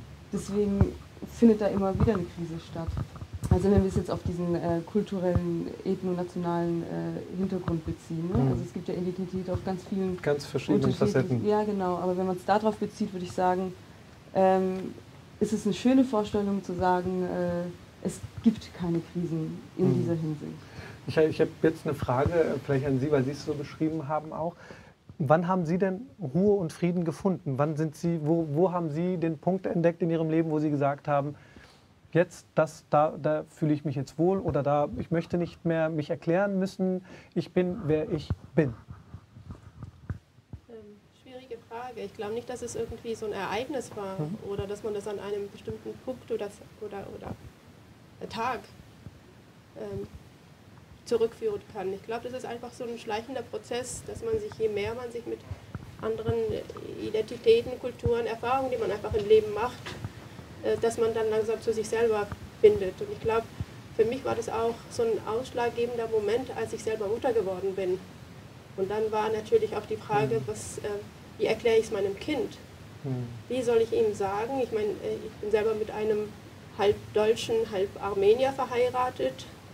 Ähm, in unserer Familie spricht man viele Sprachen. Ich, äh, ich, ich spreche mit meiner Tochter auch Französisch, auf, in der Schule ist dann Deutsch und, und dann ist noch Chinesisch und dann ist noch Russisch. Und, also das ist ein Mischmasch und da habe ich mich lange gefragt, was sage ich ihr jetzt? Oder was, äh, und dann, habe ich mir, dann hat mich dieses, je mehr ich darüber nachgedacht habe, es kann, wir sind einfach nur Weltbürger. Also das, das spielt alles gar keine Rolle und, und dieser ganze Nationalismus und so, das, das, ähm, das, das schafft eher Barrieren, als dass es wirklich Leute verbindet. Und vermutlich werden Ihre Kinder dennoch ihren eigenen Weg der Identität Vermutlich, gehen, hoffe ich mal, wahrscheinlich. ja. Ne? Ich, ich, äh, wie, wie, wie kommt man denn aus? Kommt man aus dem Konflikt oder wie löst man denn diesen Konflikt, den inneren? Wissenschaftlich oder was, was, was gibt es da so, was würden Sie auch empfehlen? Es ist sehr, sehr schwer zu, zu, zu also diese Frage auch zu, Mhm. beobachten, äh, zu beantworten. Und ich finde, es ist auch interessant, weil mir jetzt auch bewusst wird, gerade was Sie gesagt haben, es, es gibt, ähm, es gibt so den, Sozi die, die, das, also den familiären Hintergrund, so die, es gibt viele verschiedene, verschiedene soziale Räume, in denen wir uns bewegen. Ähm, aber trotzdem ist, es gibt noch die politische Ebene. Ne? Also das, das Gefühl, also Identität oder Zugehörigkeit äh, ist, ist ja erstmal ein Gefühl. Das, das war auch das, was ich vorhin versucht habe zu sagen, dass es subjektiv ist. Aber dennoch kann die Außenwelt etwas ganz anderes spiegeln, leider. Hm. Ja, also wenn wir die äh, Wahlergebnisse sehen, jüngst ähm, ist da einfach eine Partei, die genau das nicht möchte. Wovon wir jetzt gerade sagen, das ist ja eigentlich so eine Synergie, ist ja eigentlich, äh, darin steckt Potenzial und so weiter. Und deswegen geht es darum, um, jetzt diese Integrationsfrage oder wie kann man Identitätskrisen äh, am besten angehen, ähm, da würde ich auch gerne ein Buch empfehlen von Max Scholleck, das interessiert, äh, desintegriert euch, äh, weil er genau das eben thematisiert. Weil wenn man sich in etwas ähm, integrieren soll oder zu, wenn man zu etwas zugehörig sein soll, ist ja auch immer die Frage der Rasse auch irgendwo dahinter. Und das ist schon mal ein Mythos. Und er ne? sagt, desintegriert euch. Er sagt, Warum? desintegriert euch, weil er sagt, wenn man sich in etwas integrieren soll, dann äh, impliziert es ja auch, dass es ein Zentrum gibt, in das man rein soll. Mhm. Und dieses Zentrum kann man aber gar nicht auf, eine, äh, auf BRD beziehen, Mhm. weil es eben so viele unterschiedliche Kulturen in Deutschland gibt. Ja, wir haben 16 Bundesländer, es gibt teilweise unterschiedliche äh, Gesetze. Mhm. Also in was sollen wir uns denn integrieren? Mhm. Also Ja, ernst gemeinte ja, Frage, in was soll absolut. ich mich denn integrieren? Ich habe keine blonden Haare, das wäre diese, dieser, ich, ich habe keine blauen Augen, soll ich mir jetzt die Haut gleichen? Mhm. Das ist so die...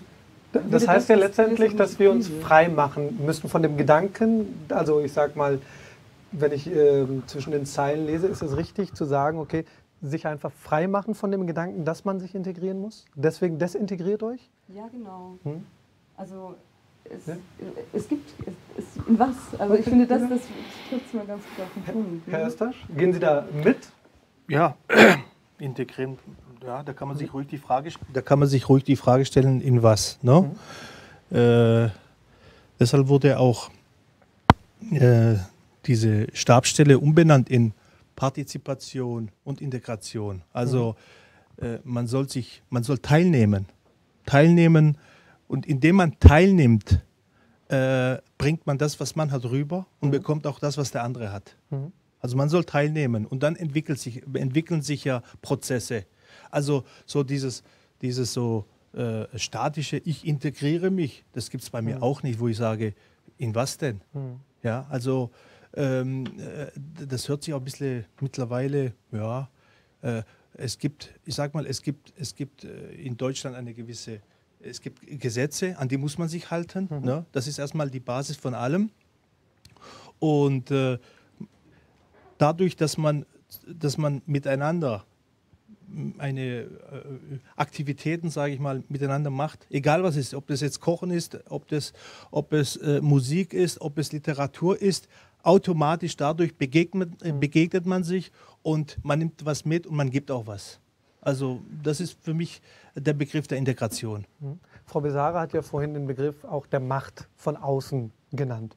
Ähm, wenn ich jetzt mal diesen Begriff auch mitnutze und sage, ist eigentlich so, also auch für junge Leute, die sich vielleicht in, der, in dieser Krise befinden, muss man sich eigentlich von der Macht des anderen einfach lösen und sich sozusagen auf sich selbst fokussieren, wer man eigentlich ist und gar nicht so in diese sozialen Komponenten denken erst einmal, weil die sind ja augenscheinlich. Warum sind sie augenscheinlich? Weil sozial werden wir ausgegrenzt. Egal, ob das beim Sport passiert, bei, äh, im Religionsverein passiert, irgendwo anders passiert. Und dadurch möchten wir, glaube ich, äh, neigen, junge Menschen insbesondere dazu, dazu zu gehören. Ja, also auch so ein gewisser Gruppenzwang.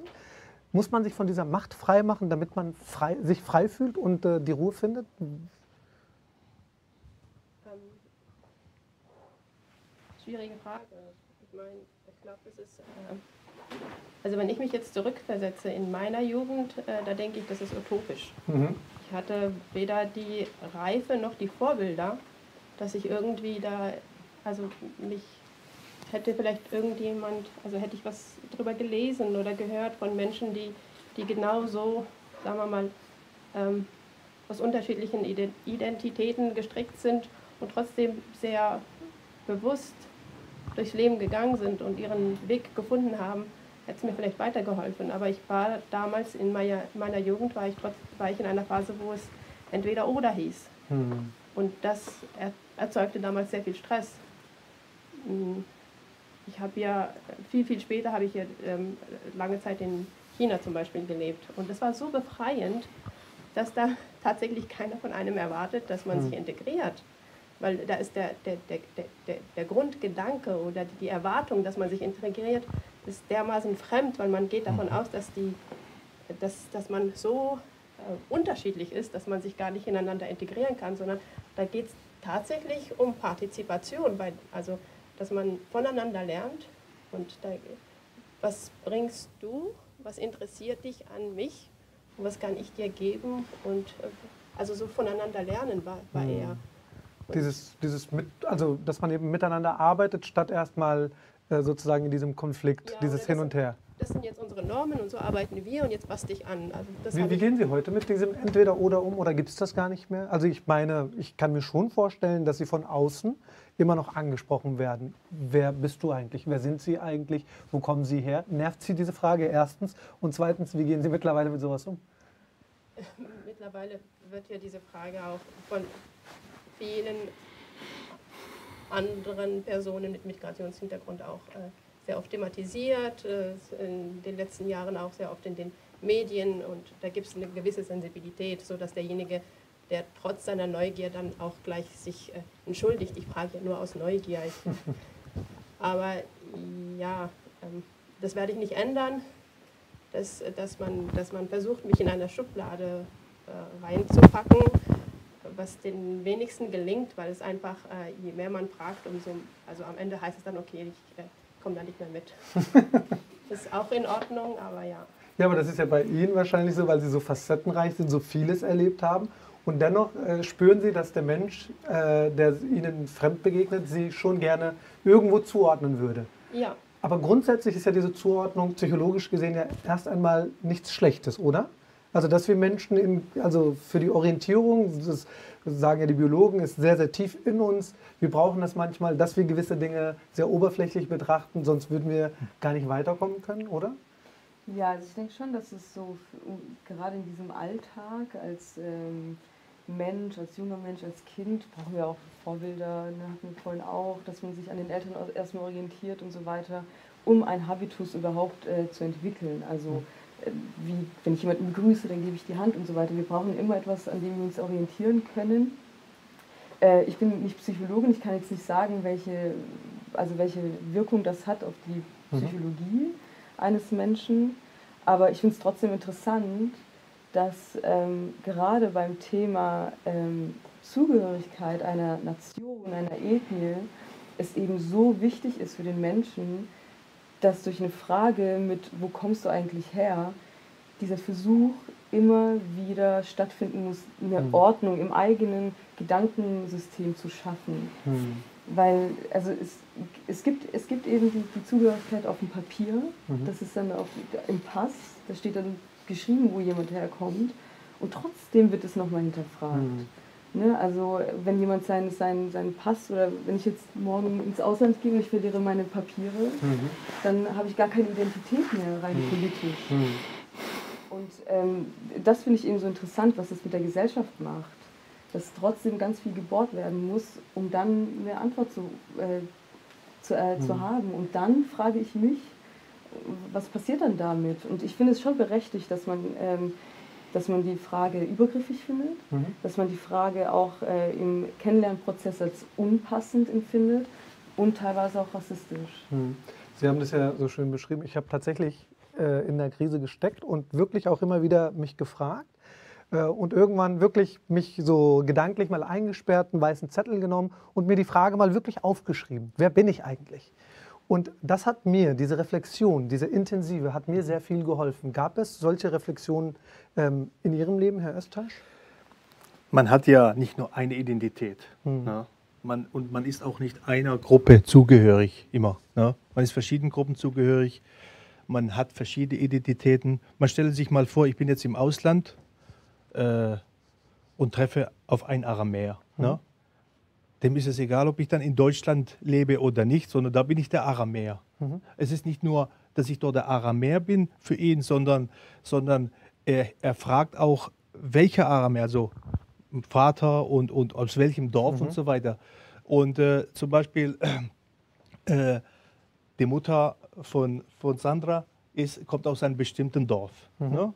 Da kommen wir auch her. Das okay. wissen wir. Also es ist dann nicht, es ist so, als ob wir, also es ist eine Zugehörigkeit zu diesem einen Dorf. Mhm. Ja, das ist ein kleines Dorf, wo zurzeit vielleicht 30 Familien leben. Also ein, ein, ein, ein Staubkorn, sage ich mal, ich in der Landschaft. Ich habe hier mal wirklich eine Frage, weil Sie beschreiben das ja als etwas sehr Schönes, nachzufragen und zu wissen, wo man herkommt. Ja. Im Grunde genommen, jetzt mal kritisch umgedreht gefragt, möchten vielleicht die Menschen, also die hier in Deutschland aufgewachsen sind, einfach nur dieses Gefühl auch haben? Und fragen deswegen. Vielleicht ist es ja gar nicht. Also Sie haben gesagt, es ist richtig, dass wir uns darüber aufregen. Ähm, aber jetzt mal umgedreht, ist das ja auch was Schönes, Gemeinsamkeiten zu finden. Ist diese Frage dann, muss man das ein bisschen anders dann betrachten? Oder? Äh, ich glaube, es kommt auch immer wieder darauf an, äh, in welcher Konstellation diese Frage aufkommt. Hm. Also ähm, habe ich auch mitbekommen tatsächlich, dass man es auch hier im Umland irgendwie in kleinen Dörfern macht, dass man sagt, ja, wo kommst du her oder irgendwie so, oder zu wem gehörst du, glaube mhm. ich, heißt die Frage. Mhm. Also dass man so anhand dieser Frage versucht, Familie, also ein, ein Individuum einer Familie zuzuordnen, die auch mhm. in diesem Dorf gelebt hat oder lebt. Ich finde, das ist, das ist etwas anderes, wie wenn ähm, eine Person, die scheinbar offensichtlich nicht dazugehören kann, gefragt wird, wo kommst du her. Das hat, das hat einen ganz anderen Hintergrund, das hat eine, eine andere, einen anderen Unterton. Ist das so, weil der Unterton vorhanden ist oder empfinden wir Menschen das vielleicht auch manchmal so? Ähm, ja, das ist eine gute Frage. Und es gibt auch manche, die sagen, man kann mich jederzeit fragen, woher mhm. ich komme, stört mich überhaupt nicht. Mhm. Und wie gesagt, es ist, ein, es ist ein subjektiver Umgang. Aber wenn wir das mal so betrachten von vorne, die Frage, wo kommst du her, impliziert doch, dass ein Phänotyp oder ein Erscheinungsbild nicht zu dem eigentlichen deutschen Bild dazugehören kann. Sonst würde sich ja die Frage gar nicht ergeben. Hm. Ich möchte an dieser Stelle nicht unhöflich sein. Ich schaue aufs Handy, weil ich weiß, liebe Zuschauer und Zuschauerinnen, Sie schreiben bestimmt sicherlich Ihre Kommentare. Über die werden wir gleich auch sprechen. Und Sie hier im Raum haben natürlich auch die Möglichkeit, gleich Fragen zu stellen und sich in die Diskussion auch einzumischen. Ähm, eine schnelle Frage, welche Musik hören Sie gerne, wenn Sie die beantworten möchten? Weil das ist unser nächstes Thema, was Musik mit Identität macht. Oh, vieles. also ich, ähm, ich höre alles, was in den 80er, 90er Jahren produziert wurde. Ja. Aber ich äh, stehe auch auf äh, Ethnomusik. Mhm. Ähm, ja. Wie ist das bei Ihnen? Meine eigene natürlich. Spaß. Hätte ich an Ihrer Stelle auch gesagt. Aber hören Sie, also Nein, hören Sie ich auch höre, so? ich höre Sie natürlich hören sich gar kunterbunt. nicht. Nein, doch, doch, doch, doch, natürlich. Also, Okay. Nein, also ich höre kunterbunt, ähm, meistens natürlich orientalisch, aber, aber komischerweise im Auto oder, oder dann mehr dann Radio oder Spotify. Kunterbunt. Kunterbunt? Ja. Auch bei Ihnen kunterbunt? Zwei kunterbunt? Nein, ja, nicht ich kunterbunt? Schon, ja, ja, also kunterbunt im Sinne von, ich mag auch Indie, arabische Musik beispielsweise oder hebräische äh, Akustikmusik, also aber von Jazz über Hip-Hop, über ähm, Indie und ähm, ja, Akustikmusik und so weiter, instrumental, aber ich würde jetzt nicht sagen, ich höre alles. Sie selbst machen Musik, was für welche? Oh ja, das ist auch so eine Frage, die ich mir so schwer finde. Also ich, hab, ich glaube, ich mache deutsche Singer-Songwriter. Hm. Sie, Sie haben einen sehr, sehr schönen Song geschrieben, in den wir gerne reinhören äh, möchten. Und äh, danach sprechen wir auch über die Identität und äh, was Musik damit macht. Ich hab mein Zuhause verloren. Es geschah vor langer, unbekannter Zeit. Ich hab so viel meine einzige Liebe geschworen. In der Hoffnung, dass irgendjemand bleibt. Ich schaffe es nicht, den Abschiedsbrief zu schreiben. Ich hab gesehen, wie sie dabei lacht. Worte sind schwer und haben ihre eigene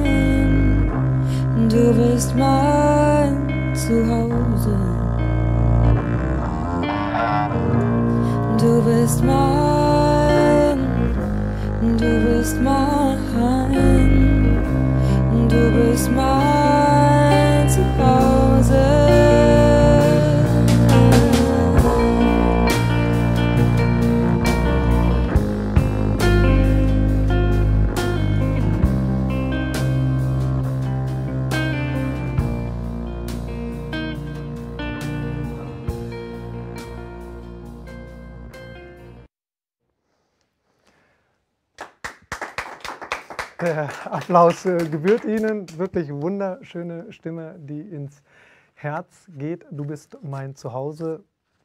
Für welche Stadt, welchen Ort? Darf man das wissen? Haben Sie das gesungen? Äh, Also ich meine, ich bin ja selber ähm, aufgrund meiner Geschichte und auch so viel umziehen äh, seit meiner Kindheit. Ähm, ich war auch in meiner Identitätskrise ne? und irgendwann habe ich aber gemerkt, dass der Neckar auch irgendwie für mich ein Zuhause sein kann. Das Lied ist tatsächlich dort entstanden, hier am äh, Heilbronner Neckar. Ähm, ich würde es gar nicht geografisch festhalten. Also ich habe alle Prägungen, ähm, narrative Geschichten über die Heimat meines Großvaters, meiner Großeltern. Da war ich selber noch gar nicht, aber ich trage das alles in mir. Und es ist das ist viel, viel wertvoller, weil es gar nicht kaputt gehen kann. Es kann durch keinen Krieg, durch kein Schlechtreden äh, zerstört werden. Und das, mhm. das ist ein, tatsächlich ein sehr introvertiertes, mittiges äh, Zuhause, das man mit anderen mhm. teilt. Mhm. Was, was macht Musik mit Ihnen ganz persönlich, auch in Bezug auf Identität? Gibt Ihnen Musik auch einen Teil von sich selbst? Ja, auf jeden Fall. Also ich habe äh, mit Straßenmusik angefangen, äh, barfuß in Stuttgart, äh, hier Heilbronn und überall irgendwie Straßenmusik machen. Das, das ist auch das, was Sie anfangs ja gesagt haben, ne, diese Abgrenzung, das hatten wir in diesem Video gesehen. Mhm. Das war meine persönliche Abgrenzung und ähm, ein immer wieder wunderschöner Ort dahin zu flüchten und ähm, alles andere zu vergessen und voll in seiner eigenen Wahrheit zu sein. Hm. Also ganz ähm, mit allen Sinnen. Das, das, das finde ich so schön an Musik und das hat mich schon sehr ähm, treu und retterisch begleitet. Hm. Man, man, merkt Ihnen ja an, wer Sie heute kennengelernt hat, Sie sind äh, leidenschaftlich für ein Thema unterwegs, dass, dass viel Gerechtigkeit auf dieser äh, Welt geschehen soll und dass alle eine gewisse Toleranz miteinander leben sollen. Ähm, möchten Sie auch so etwas mit Ihrer Musik ausdrücken, dass sich Menschen offener begegnen? Auf jeden Fall, auf jeden Fall. Also ich meine, natürlich ist es immer eine ein bisschen schwierig mit Songtexten gerade deutsche, deutsche äh, Texte etwas zu vermitteln, wenn man, oder wenn ich äh, nicht möchte, dass es, ähm, also wenn ich eine bestimmte Vorstellung oder einen Wunsch habe, wie das auch klingen soll am Ende.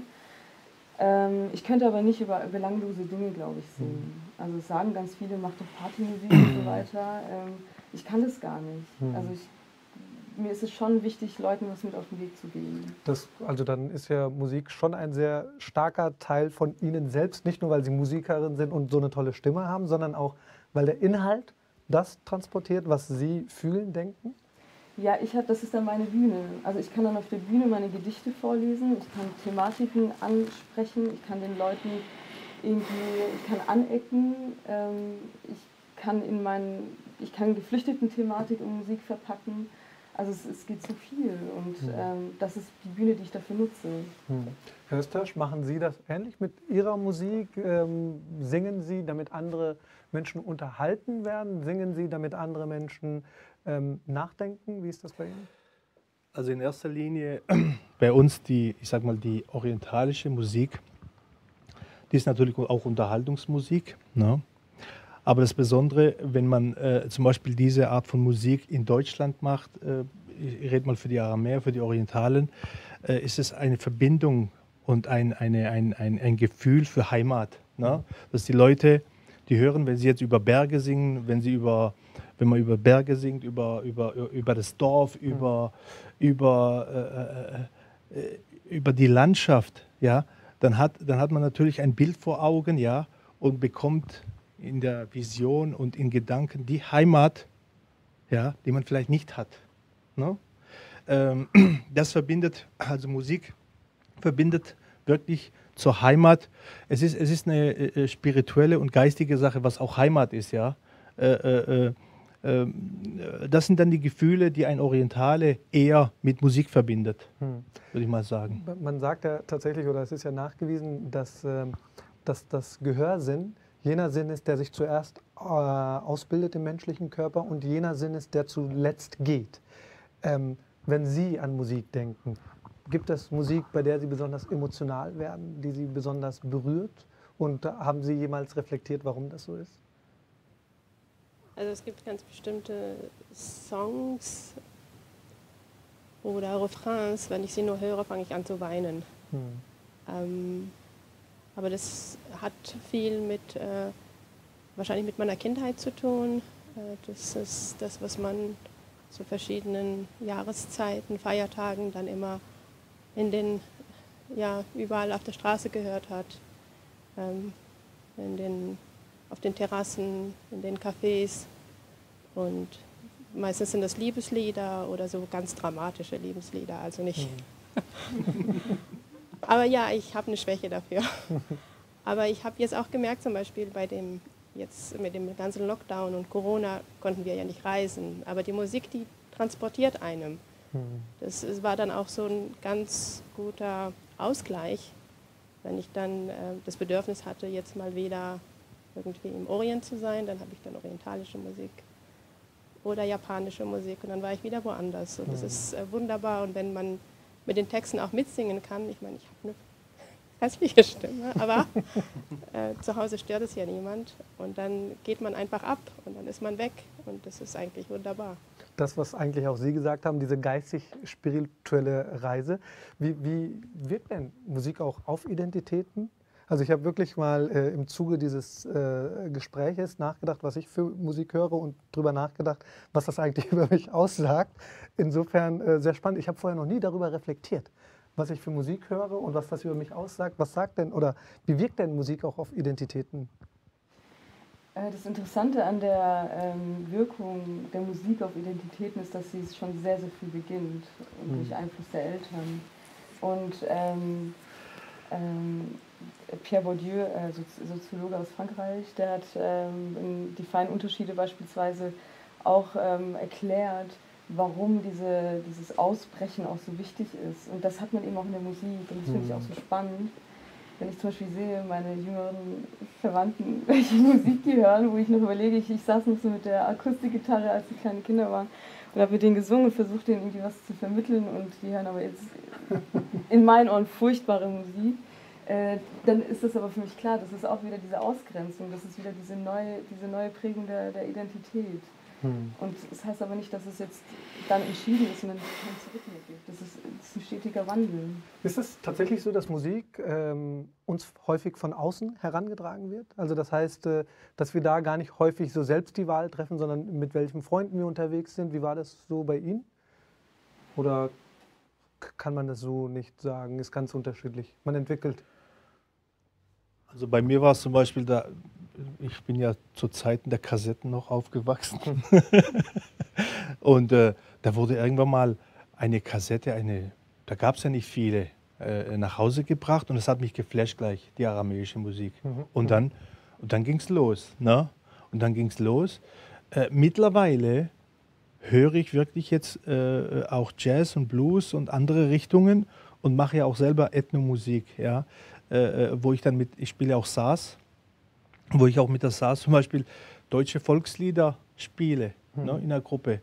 Und dann kommt man natürlich in Sphären, die, äh, wo man Grenzen überschreitet, äh, äh, die man vorher nicht gedacht hat. Hm. Darf ich da noch was dazu Bitte schön. Ja. Weil, äh, klar, zwischen uns liegt ja ein Altersunterschied so ein bisschen. Danke. Ganz wenig. Danke. Ganz klein. Und, ähm, aber wenn ich das vergleiche, wie das bei mir war, vor, also so als ich 20 war, ich bin ja auch schon 30, ähm, da war das ganz anders als heute. Also ich, hatte, ich habe irgendwann re äh, reflektiert und gemerkt, dass, dass mich diese Überflutung der sozialen Medien, Mhm. man bekommt ständig Musik gezeigt, gute Musik auch, man hat Spotify, man hat so viele Portale, dass, dass die Leidenschaft, sich hinzusetzen, Platten aus, also ich, ich Mhm. Schallplatten, die auszutauschen, dass es gar nicht mehr gegeben ist. Also man kriegt alles vor die Nase geknallt, weil es einen Algorithmus gibt und das finde ich so verrückt. Also es gibt in dieser scheinbar irgendwo virtuellen Welt einen Algorithmus, der kennt meine Identität Mhm. oder etwas an mir und sagt, hier, das wird dir gefallen. Nutzerverhalten das ist auf nicht nur jeden meine Fall. Freunde, das, was sie meinten. Ne? Ja. Das ist nicht nur meine Freunde, meine Familie oder ich gehe auf Mhm. Konzerte und treffe Gleichgesinnte, mit denen ich mich dann irgendwie austausche, was Musik betrifft, sondern das macht jetzt das, die virtuelle Welt. Wie, wie, wie lernt man gute Musik kennen? Was empfehlen Sie den jungen Leuten, mal den Rechner wegzulassen und dann vielleicht in einen, in einen Laden zu gehen? Oder weil das ist ja tatsächlich so. Algorithmen bestimmen sehr, sehr viel heute in unserem Leben. Ähm, egal, ob es das Käuferverhalten ist oder eben Hm. auch ja, das, was wir hören wollen. Ein Tipp für die Leute, wie so, so, so ein Kurs, wie, wie finde ich zu meiner guten Musik? Ja, ich würde sagen, einfach auf Konzerte gehen. Mhm. Also irgendwo ein Konzert sehen, gar Mhm. nicht groß sich damit beschäftigen, ist das jetzt was für mich oder nicht. Wenn es einen anspricht, hingehen. Und vor Mhm. allem, es ist ja auch, ich finde es auch so was Meditatives, in Plattenladen zu gehen. Oder ich meine, es gibt ja auch CD-Läden und so weiter. Okay, wo hört man jetzt heute noch CDs? Weiß ich gar nicht, aber wenn Mhm. jemand ein Laufwerk hat oder so, ne? Aber dass man da vielleicht Mhm. ähm, sich intensiver offline damit beschäftigt. Aber das ist eine gute Frage. Ich, ich, es ist schwer. Ich wünsche, mein Sohn hört gerade zu und äh, nimmt das äh, ganz mit, weil das äh, wird sich in Zukunft, glaube ich, ganz gewaltig ändern. Ich möchte jetzt die Runde öffnen hier und äh, natürlich Ihnen auch zu Hause die Möglichkeit geben, Ihre Fragen loszuwerden. Möchte jemand Fragen, möchte, hat jemand Rückfragen zu den Gästen, die jetzt vorne sitzen, aber auch gerne zu den Gästen, die vorangegangen waren? Gibt es Fragen hier aus dem Saal? Ich schaue parallel auch, was im Netz los ist. Gibt es jemanden, der sich einmischen möchte, der, dem es unter den Nägeln brennt? Nö? Okay, okay. Ich höre jetzt auch aus der Regie, dass die Zeit überschritten ist sogar. Ähm, insofern danke ich Ihnen recht herzlich für diesen tollen Austausch. Wir haben, glaube ich, heute alle miteinander gelernt, äh, dass Heilbronn etwas mehr ist, als man möglicherweise in seiner ganz eigenen Blase manchmal äh, denkt. Und äh, unsere nächste Veranstaltung wird hier im Anschluss auch angekündigt. Da können Sie sich das Datum schon merken und der Stream wird auch wieder um 19 Uhr losgehen. Ich bedanke mich recht herzlich bei allen, die hier waren. Natürlich bei Mr. Yasin, dass wir hier in diesen Räumlichkeiten sein durften. Vielen, vielen lieben Dank und äh, sage damit Tschüss und bis zum nächsten Mal.